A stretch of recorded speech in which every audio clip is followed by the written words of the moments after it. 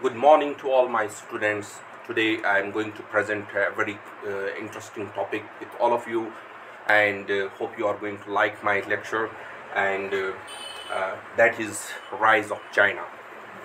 Uh, we have seen that in, in, in the contemporary uh, era what we have seen especially from the end of the Cold War there was a lot of debate going on the rise of China and the rise rising of uh, rising rise of other power centers in international relations.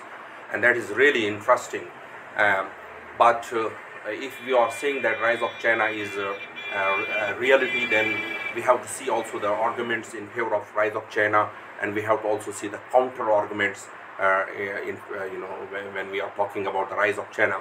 Then there is also uh, another question uh, whether or not the rise of China is going to be a peaceful phenomena or will uh, China rise peacefully or, or not? You know, that is also very important questions. Uh, then also, uh, I am going to also discuss with you uh, that the pessimistic point of view and the optimistic point of view of the different of scholars uh, regarding the rise of China and also uh, as a regional hegemon in the Asian continent, and then also. Um, the you know uh, United States of America as a regional hegemon in Western Hemisphere, and I think it is going to be a very debatable uh, discourse uh, with my students, and uh, my students are going to uh, like it, like this topic because uh, uh, this is very uh, you know uh, you know debatable issue and contested issue. Um, so uh, first, I am going to uh, tell you that uh, we have seen in 2020 that uh, when it uh, when we talk about the PPP uh, purchasing power power uh, parity index, then China uh, you know was uh, uh, it was at first you know at first number uh, you know in terms of PPP. So because it was almost at 25 trillion you know uh, you know economy. Uh, uh, 25 trillion dollars. Uh, so it was more than the United States of America. Uh, the United States of America uh, was at 20 trillion dollar. So uh, this is something. Then we we can also see the situation what we have seen uh, in 2008. We have seen a lot of economic crisis, uh, you know, in, in, in, Europe, and and that has really uh, had a uh, you know adversary effect not only uh, the European countries but also it affected the United States of America. And then we are also going to discuss. Then I am also going to discuss with you regional hegemon for for great powers. There are two important points.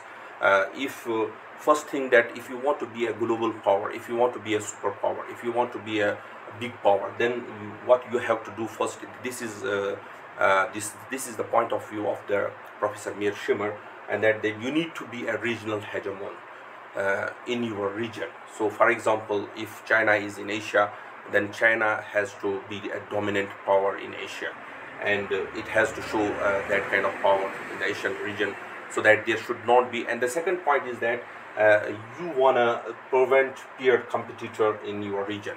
So, what China can do that China has to be able and capable enough in order to prevent that there should not be any uh, you know any other power which can claim that I am the you know dominant power in this region.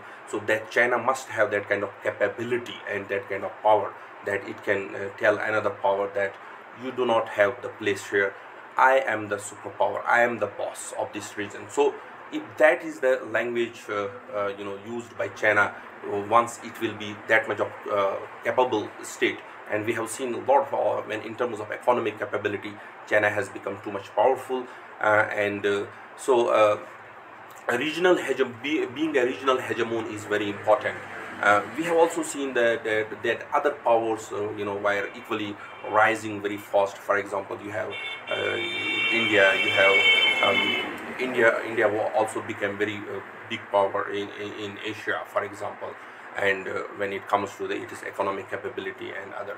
So, but when we are discussing here more about, we are more concerned about the China and uh, you know US because it is about uh, so if you you want to it is about the topic is about rise of China. So uh, if you want to be a regional hegemon then uh, uh, you, if you want to be a big powerful country then for powerful country to remain powerful they, what they can do they have to be they have to show that they are the regional hegemon. This is one. The second point is that you want to prevent peer competitor in your region. So what is the another uh, dimension of this my talk is that uh, that regional hegemon has to show that uh, should be able to uh, declare himself as a regional hegemon. Only one regional hegemon there cannot be other uh, and any other region.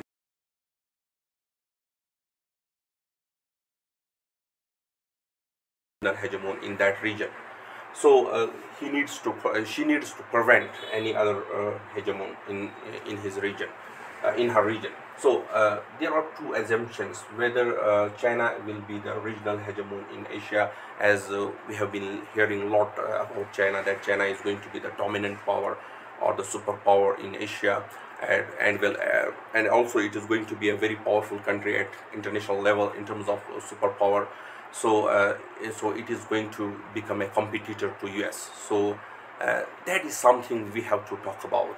And the second point which I am making here is that America will be the regional hegemon in uh, in American hemisphere and we have seen that America remained as a regional hegemon from 19th century uh, up till up till now uh, America is the only regional hegemon in in western hemisphere. And same is the talk going on that maybe the China is going to be the regional hegemon in Asia. And because of economic capability, because of military capability and because of nuclear weapons and many other you know uh, things. Uh, but there is also uh, some um, that uh, if uh, for example suppose the China is going to be the become the world power whether the other countries in the world are going to accept the Chinese type of international order that is also very a contested issue because the China is a, not a democratic country so that is going to uh, be a very contested very debatable issue among other nation states because they will not it will be very tough for them to accept the Chinese type of system uh, because uh, China is not a liberal democratic country. So uh, the, the, so the, the point is here uh, which I'm making that China will be the regional hegemon in Asia. Um, there is a possibility uh, you know uh, this is one assumption. And the second is that it can be the same situation like the united states of america was the hegemon and is still the hegemon in the western american hemisphere. Okay. Oh, uh, so uh, there, there are two points of views regarding the rise of china whether uh, it is going to rise peacefully or whether the china's rise is a kind of uh, reality or it is going to happen uh, soon soon or later as so far as the hyperpower or the superpower uh, you know states of China is concerned or it will maybe does it have the that kind of capacity to change the liberal international order? Uh, I think that is very tough because when we talk about the United States of America we are not talking about one country one nation.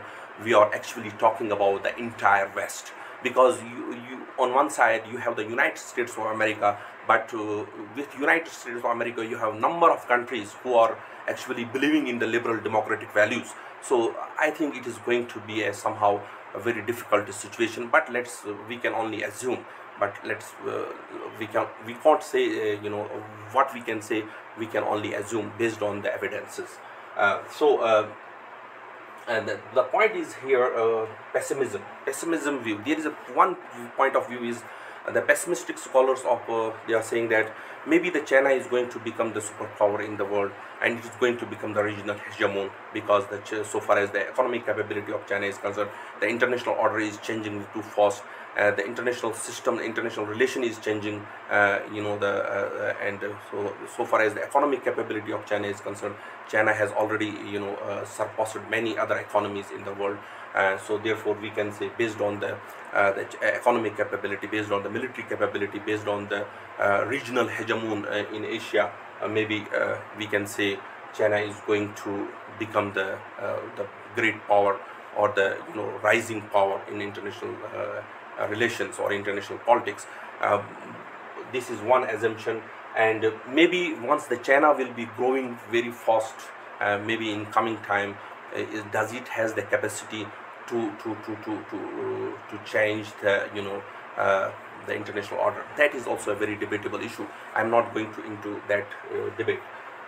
The second point is that optimism view.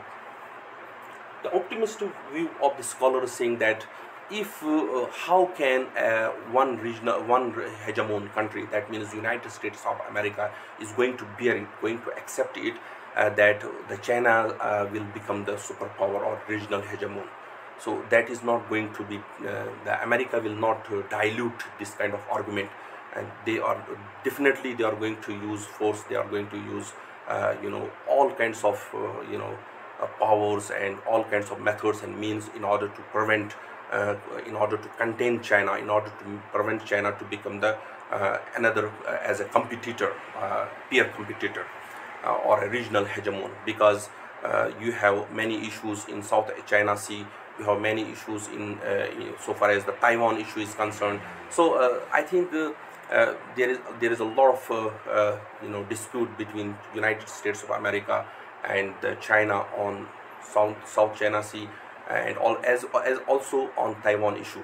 So uh, optimistic scholars they will say that when the China will be thinking about to become the superpower or to to declare that I am going to change the international order, uh, liberal international order, that uh, that it, the America is not going to be silent. That is my point. America is not going to be silent because America will will uh, come with uh, all its allies and is going to you know enter maybe the war type of situation but war is not the possibility because both the countries they have the nuclear weapons because if they will use the nuclear weapon uh, maybe there is going to happen the third world war and maybe the united states of america what the united states of america what uh, she can do maybe they will use uh, economic sanctions over china in order to uh, minimize this threat you know to, to, become the you know global hegemon uh, so uh, this is the optimistic view. Uh, for example, there are different scholars who are supporting the pessimistic view, and there are other scholars who are also optimistic, who are supporting the optimistic view of mm, you know optimistic view. So I think, but we have seen that China has been uh, you know rising very fast uh, and with other number of countries uh, you know we have seen the that it is some sort of transformation uh, you know from the western west towards east but but still we have to wait uh, maybe a lot of years we have to wait because it is it is the United States of America which is the big country which is a superpower and it has it had remained a superpower from last many years many decade uh, many decades. So we can't say we can't predict in a very uh, short span of time that we can say that China is going to replace United States of America. So that is something we have to wait for and uh, uh, I think uh, looking from the pessimistic point of view optimistic point of view and regional hegemon because and many other points of then uh, we can say um, possibly uh, uh, there is going to be a lot of difference between China and the United States of America in terms of power equation because because United States of America will not accept the China's dominance uh, to be the uh, China will become the regional hegemon because they are not going to accept this or that uh, United China is going to become the world hegemon. So this is something very much uh, controversial so far as the American foreign policy is concerned. They are not going to support it, and they will do everything possible in order to prevent, uh, you know, China to become the uh, global power and to change the international liberal international order. So because the liberal international order is uh, controlled and influenced by the United States of America and uh, we know uh, that uh, to become the hegemon how much it is a uh, tough task but uh, that power is transitory and power is always changing you know but still the United States of America and is very much powerful country and let's see how it goes and who is going to become the global hegemon Thank you so much for hearing my lecture. See you in next lecture. Take care of yourself.